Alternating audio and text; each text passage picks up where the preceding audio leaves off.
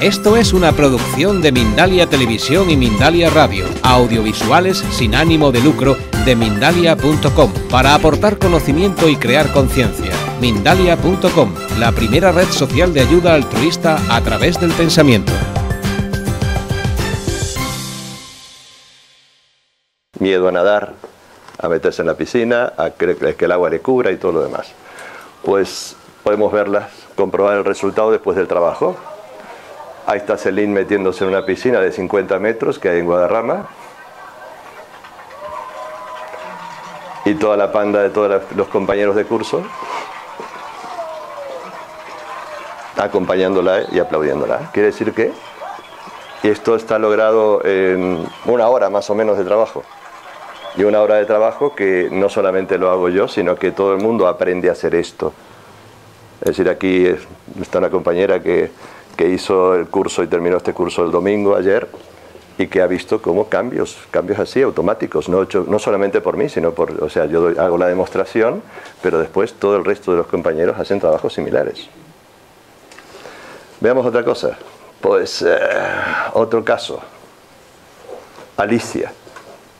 Alicia es una persona.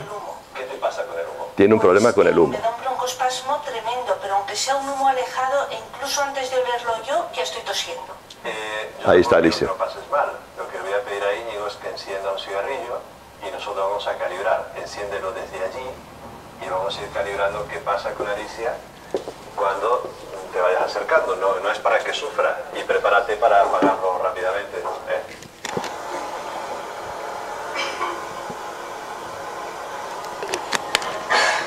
Desde donde está ella hasta donde se enciende el cigarrillo es más de 5 metros.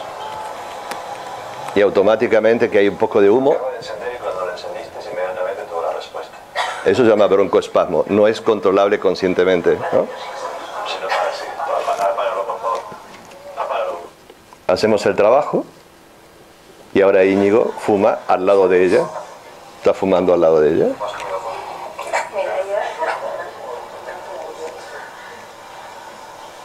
Puedes, puedes, sí. Ven para acá.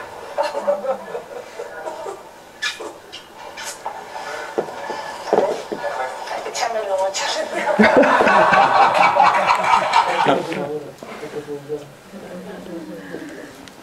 Estos son demostraciones en las clases. Aquí no hay ninguna, ninguna preparación. Aquí no estoy montando, haciendo montajes donde no estemos en un ambiente. Vamos a ver otro. ¿Y en tan solo una hora se puede cambiar todo esto? Roxana.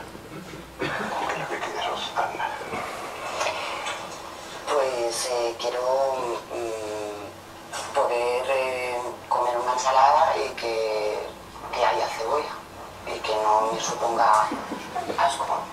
Y Vomitaba con la cebolla. no Pillaba cualquier trocito de cebolla y vomitaba. con respecto a Bueno, está un poquito mal la coordinación de movimientos. comparto mesa por el hecho de que haya cebolla.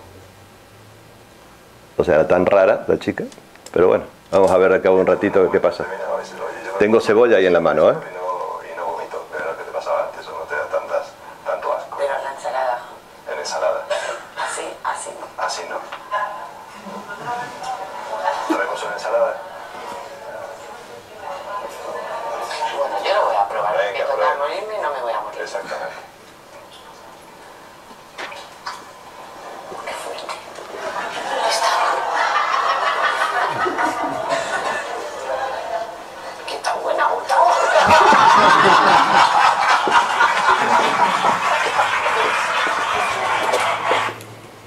Termina comiendo ensalada, eh, cebolla y habían pasado media hora. Quiere decir que estos cambios, yo tenemos muchos vídeos, hay mucha gente que ha hecho practitioner sabe que mantienen en el tiempo. Y las cosas que va logrando la gente cuando se quita el primer problema. Por ejemplo, un momentito, por ejemplo, Celine, eh, que ella descubrió después, a partir de que había solucionado el problema de- con el agua, que cuando se duchaba, los problemas que tenía, ella se duchaba o ponía la cabeza debajo de la ducha y el cuerpo no, o ponía el cuerpo y la cabeza no. O sea, hacía gimnasia cada vez que se duchaba. Y se dio cuenta de que eso le pasaba y que ella no era consciente hasta que, hasta que se da cuenta que puede hacer las dos cosas a la vez. O que se iba al spa y estaba todo el día en tensión por si la- le caía o le salpicaba algo que se le metía agua en los ojos. Quiere decir que estos son los re- resultados reales de gente que haciendo el curso puede cambiar y transformar sus comportamientos. Y aquellas cosas que le limitaban en- anteriormente, de repente se disuelven. Y esto, como bien saben las personas que han hecho practitioner, tiene un método. Esto no es una casualidad, no es una varita mágica, es un método de trabajo, es un proceso. Entonces empezamos con todo esto, todo lo que hemos hablado anteriormente, para generar un proceso de cambio y reforzarlo hacia el futuro. O sea que no es un cambio que se queda ahora, sino que se refuerza. Pues el, sábado cuando hice la demostración, hace dos días, una chica que tenía pánico a las agujas y que, bueno, hacer, hacerse un análisis de sangre para ella era desmayarse, pero aparte de una forma así como muy, muy aparatosa por lo que ella contaba, bueno, y pensarlo solamente, ahí está lo que el calibrar, nosotros nos damos cuenta que tiene una reacción enorme. Pues terminamos trayéndole una aguja comprada en la farmacia, abriendo, y la tía se pinchó y le salió sangre. Aparte tenía, tenía, tenía pánico a la sangre también. Y esto es, es, una, es una cuestión de un trabajo donde uno comprueba que trabajando adecuadamente con todos los elementos se pueden producir cambios importantes. Dime. Sí, yo quería preguntar, porque esos son como, miedos más, quizá más, más concretos, como muy localizados, ¿no? Al agua, a las agujas, a la sangre. No sé si también aquí se podría trabajar miedos más internos, más abstractos, más complejos, quizá miedo al fracaso, miedo a la soledad, miedo a quedarme sin pareja, o Sí. miedo a cambiarme de trabajo. ¿no? Ese tipo de miedos Sí. también. ¿Puedes contar lo que trabajaron tus compañeros este fin de semana? El mío concreto, O el tuyo o de tus compañeros, no sé, porque o sea, en nuestro grupo hubo gente que trabajó miedo a eh, las relaciones familiares, porque tenía especial pánico a, bueno, pues un problema, un fracaso que tuvo con sus padres.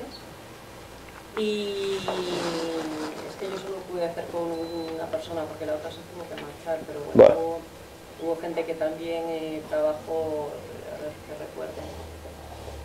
Eh,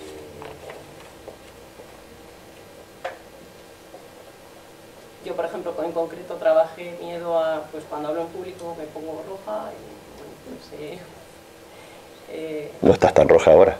un poco menos. Vale, es decir, tantos miedos generales como, gracias, ¿eh? como miedos particulares. ¿Tú te acuerdas lo que trabajaste en tu practitioner? Sí, Eh, hablar en público. Sí, hablé, hablé. sí. ¿Y compañeros tuyos? Yo recuerdo el mío, que era, subirme al escenario era... Y terminó el ejercicio Estoy apuntando lo que iba a escribir y demás. Y terminó haciendo terminó el ejercicio y se vino cuando empezamos la clase a hablar en público ahí al escenario. Entonces, tanto generales como particulares, me refiero, es decir, miedos abstractos como miedos muy específicos. Pero no solamente miedos. Esas cosas que uno de repente no sabe por qué no hace. ¿Y por qué no haces esto? No, no, no. Entonces, la clave es, lo que nosotros hacemos es, si entendemos los tres cerebros, tenemos que entender que en cada comportamiento hay una parte instintiva, hay una parte emocional y una parte racional. ¿Me entendéis? Si no, no cambiamos, ¿eh? Especialmente son cosas muy fuertes. Y una- un- una- una- algo que es un broncoespasmo eh, no se cambia de la cabeza. No se cambia, no puede. Esta mujer, aparte es bióloga, treinta y pico de años con el problema. Quiere decir que no es una cuestión de un día. Entonces, en la medida en que uno se da cuenta de, toda la forma, de la manera en que todo esto se conecta, se coordina, pues entonces se pueden cambiar. Personas, yo me acuerdo haciendo coaching, yo tenía un directivo que de repente lo pasan al, grado, al, cargo máximo, director general de una empresa química aquí en, en Madrid, cerca de Madrid. Y este hombre, pues era brillante. Y resulta que cuando le toca ser director general y ir él solo a rendir cuenta delante del consejo de dirección, había veces que entraba en pánico y no sabía lo que le pasaba. Quiere decir comportamientos de ese tipo. Y de repente empezamos a buscar y lo se desmontó, recordó una situación de cuando era, era adolescente, lo que había pasado con su hermano más pequeño y sus padres, y se desmontó. Quiere decir que no es solamente para cual- cualquier cosita, es cualquier cosa que tú no puedas controlar, que no sabes por qué. Que no sabes por qué. Entonces buscar el origen de las emociones y de- desmontarlas, desprogramarlas, para eso el nombre de la programación neurolingüística, desprogramando a, nivel neurológico y lingüístico y ver de qué manera es posible transformar lo que sea. Y aquello que era un problema y una dificultad se puede transformar en una potencialidad. porque tú lo puedes poner como fuerza de alejamiento, puede ser un impulsor para ti, para moverte, pero ya no te controla. Que esta es la clave, que eso deja de controlarte, deja de tener poder sobre ti y empiezas tú a dirigirlo. Ya no es algo que es automático, espontáneo, sino que eres tú el que produce el cambio. ¿Quieres preguntar algo más sobre esto? Dime. Igual es, igual es una barbaridad. Es una barbaridad. Estamos acostumbrados a las barbaridades. Cuenta. Eh, estaba pensando en esto del broncoespasmo, que es una cosa como muy fisiológica, eh, y se me estaba ocurriendo eh, relacionarlo con algo que leí sobre una mujer a la que se le curó la miopía trabajando, trabajando también desde las emociones. ¿Sería, sería posible eh, trabajar lo que sea que hace que no puedas ver de lejos? Sí. Igual que... Hoy en día se sabe que muchos problemas de vista son problemas de estrés. Eso está absolutamente verificado hoy en día. No hay, no hay vuelta. Ya no es únicamente ponerte gafas, sino, oye, ¿qué pasa en este momento? Es decir, mm, de verdad que es una de las cosas más...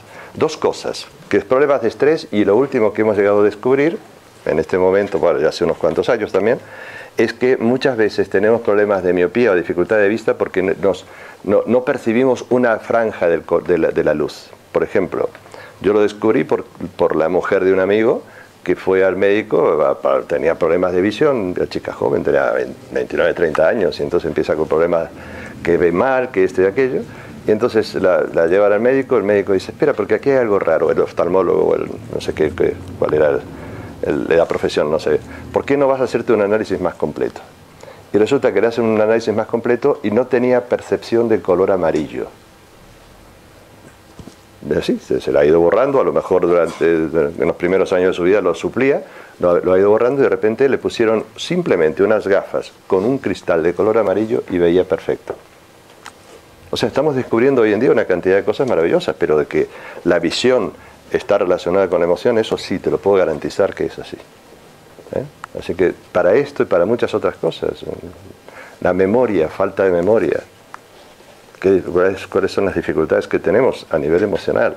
Es decir, la emoción es el gran, es el, intermedio entre la razón y la parte instintiva, acordaros, son tres cerebros.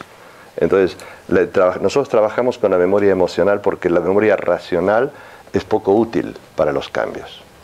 No me sirve de nada que tú me cuentes lo que te ha pasado en la vida. Por eso la PNL no es conductista, es cognitivista. Es decir, te ayuda a descubrir más allá de lo que tú piensas que te ha pasado lo que realmente te ha sucedido y desde ahí desmontarlo. Por eso trabajamos mucho con el inconsciente. ¿eh? Y cuando trabajamos con el inconsciente, no que decimos, por eso no decimos, no, no hay una hipnosis, no hay una hipnosis que uno dice, bueno, ahora te voy a hipnotizar para hacer esto. No, no, es hablando, es hablando para poder dirigir adecuadamente. Durante todo el entrenamiento te vas dirigiendo, ah, puedo aprender a hacer esto, puedo aprender a hacer aquello, dirigir la experiencia tanto mía como la de otras personas. ¿Algún otro comentario? ¿Preguntas? Se trabaja con emoción, digamos. Básicamente, claro, entendemos que en toda experiencia hay un núcleo emocional con una representación mental y una parte instintiva implicada. Entonces, ¿de qué manera se puede desmontar? Están unidas, ¿eh? No están separadas, en cada recuerdo. ¿Y cómo se puede desprogramar? A mí me pasó una cosa curiosa que yo, desde que fui al colegio, pues cuando era joven, eh, le cogí manía a los garbanzos y a las judías, como podía muy a menudo, los echaba, los echaba debajo de la mesa, me pillaron, me los hicieron comer en el suelo y a partir de ahí dije nunca más. Y, cada vez que los como me pongo enfermo, que me, me, entra una diarrea tremenda, ¿no? Y, es una cosa que yo sé que ya tengo clara ahí, pero que... Bueno, yo te puedo garantizar que, con el 95% de probabilidades que... De, que algún día me pudiera llegar a gustar, por lo menos a que, como esta chica con la, con la cebolla, por lo menos que no vomites. No vomites y que lo pueda comer y en un momento determinado dice, ah, pero está rico. Increíble, la primera vez en su vida que probaba cebolla. vale. una pregunta. ¿Con la hipnosis también tiene éxito? Eh, por eso te digo, nosotros no hacemos hipnosis. ¿eh? Yo sé que la hipnosis tiene éxito, nosotros utilizamos las herramientas de hipnosis erizoñanas, pero no hacemos hipnosis. La, hipnosis bien dirigida tiene, es muy poderosa, por supuesto. ¿Qué más?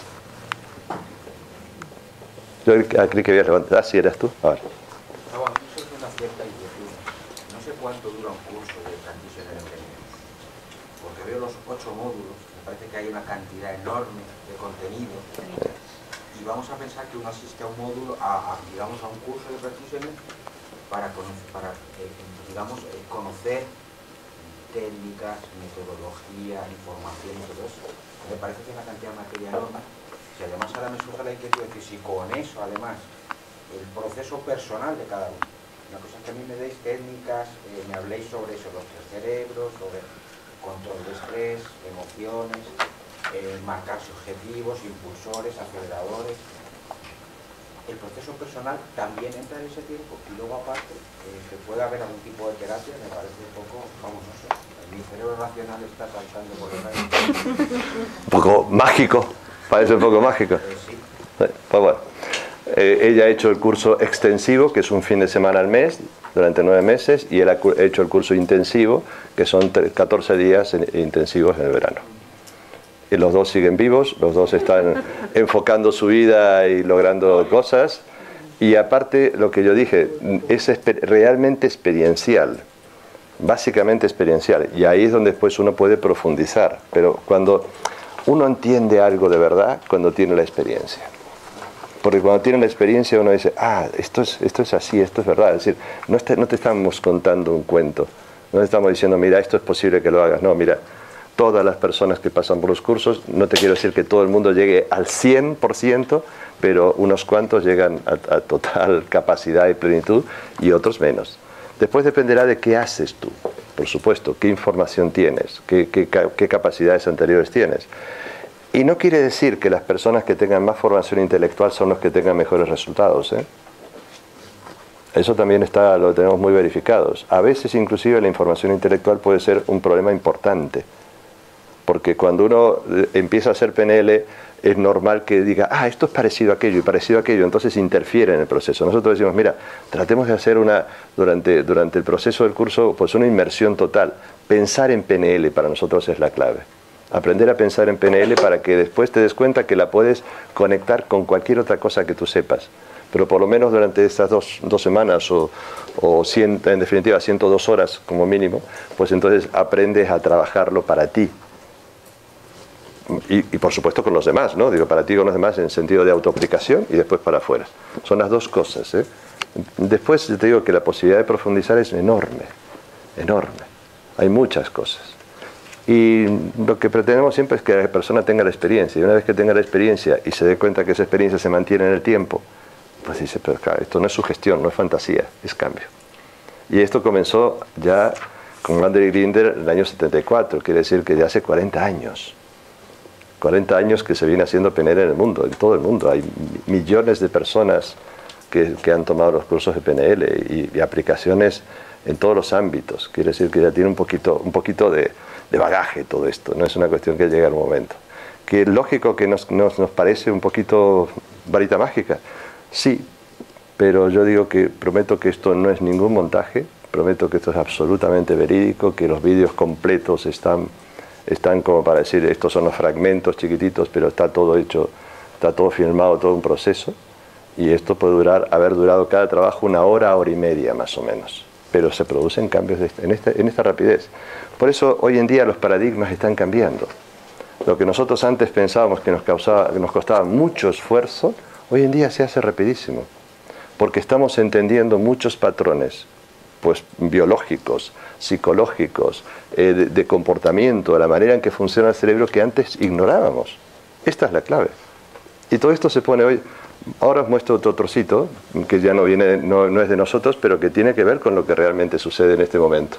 Bueno, en definitiva, este es el programa, los siete módulos para el módulo 8.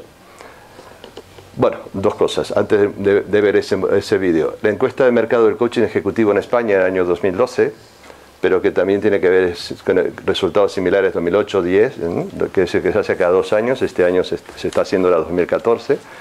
Todos los años dicen que la, la- la técnica más utilizada por los, coaching- los coaches eh, ejecutivos, es decir, que trabajan con el mundo de la empresa, es la PNL. Es decir, la técnica que más facilita los cambios.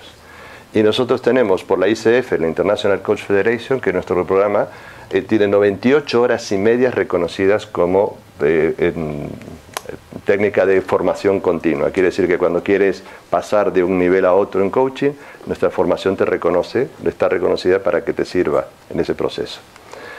Y vamos a ver un, vídeo cortito de Mario Alonso Puch, que tiene que ver con la neurogénesis y la neuroplasticidad, en la cual eh, nosotros estamos basando mucho de muchas de las cosas que hacemos. En, en el año 2000, eh, dos, eh, dos, en 2009 creo que fue. Quiere decir que hace escaso 4 o 5 años. La neurogénesis. Y él habla de neuroplasticidad y neurogénesis. Es decir, nosotros estamos adecuando todos nuestros programas para que este aprendizaje sea más rápido, utilizando todo lo que dice Mario, utilizando todo lo que dicen. Pongo este vídeo porque es, digamos, popular. Es decir, esto está, está apoyado por todos los vídeos, eh, digamos, de neuropsiquiatría y todo lo demás, como que aceptan que la neurogénesis se está produciendo, ahora sabemos constantemente, y hasta los 90 años, en los cerebros de, personas de 90 años se producen neuronas nuevamente. La clave es que, si recordáis dónde van, dónde van las células madres del cerebro, lo que dijo, al hipocampo. ¿Qué hay en el hipocampo? Lo dije antes, las emociones. Quiere decir que si aprendemos a gestionar todo el conjunto de emociones, aprendemos a redirigir todo esto, nuestro aprendizaje es rápido. Antes no lo podíamos explicar de esta forma, hoy sí lo podemos, lo podemos explicar de esta manera. Es decir, somos capaces de generar todas las condiciones para que las las células madres se transformen en neuronas que al final facilitan el aprendizaje y la puesta en marcha de las cosas. Es decir, que yo no, tenía forma de explicarlo antes, hoy en día con todo esto soy un apasionado eh, de, todo, de todo el mundo de la neurología, de todos los descubrimientos que tenemos y la cantidad de cosas que sabemos, cosas que antes no podíamos saber. Por ejemplo, ¿por qué cuando uno se acerca a una persona tiene sentimientos, sensaciones, emociones? Entonces, vale, le llamamos proxemia, pero ¿qué pasaba? ¿Cómo lo explicamos? Pues nada, mira, que me atrae, me, me rechaza, pero no, no, no, es tan sencillo. ¿Qué pasa? Que los premios Nobel de Medicina del año 2012 descubrieron que, que las células tienen terminaciones nerviosas de percepción externa que a la distancia de un brazo, más o menos, ¿eh? esto se llama la epiconciencia, la zona de epiconciencia, estamos percibiendo lo que pasa alrededor como una forma de adaptación. Y claro, cuando tú empiezas a entrenar esto y te das cuenta que esto es un elemento de comunicación muy importante, claro, rápidamente da información de tu sistema. Somos hiperinteligentes los seres humanos. La clave es que sepamos dirigir todas estas capacidades, que no nos quedemos atrapados en toda la maraña de dificultades, de problemas. Y nosotros estamos trabajando con esto hace mucho tiempo. 25 años llevamos enseñando PNL. El grupo este que terminó ayer tenía 120 personas y todos los, todos los, los, años tenemos grupos de 80, 90, 100. El próximo fin de semana, no este sino el otro, otras 100 personas de gente que está formándose fuera y ya hace 25 años. Quiero decir que esto no es, no es una cuestión de un día. Sabemos, tenemos experiencia, tenemos práctica, tenemos un modelo de trabajo y, digamos de, de, de estudio que permite que las cosas se incorporen. Sobre todo esto, que uno se lleve hecho, el traje ya se lo lleva puesto. No es que tiene que después estudiar para incorporarlo, no.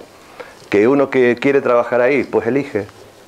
Que quieres trabajarlo de hablar en público, como el compañero, pues la eliges. Que quieres trabajar para otra cosa, porque de repente te vas dando cuenta de que hay otras cosas más importantes que son esenciales, pues sí.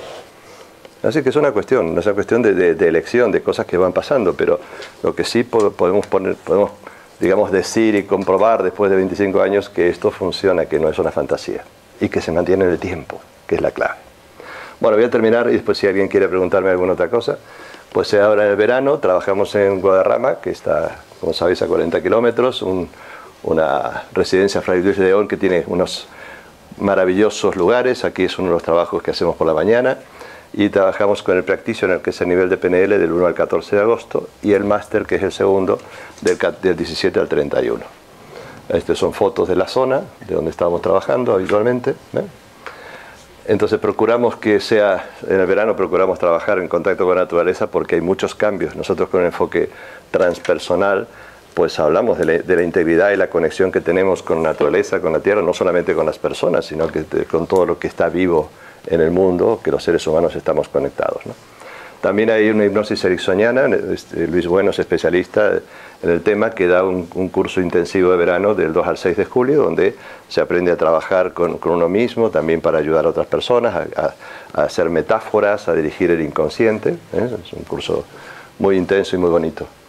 Este año estamos trabajando con psicología transpersonal, hacemos un trabajo profundo, integral, con la psicología transpersonal integrante que es Wilber, también del 15 al 28 de julio.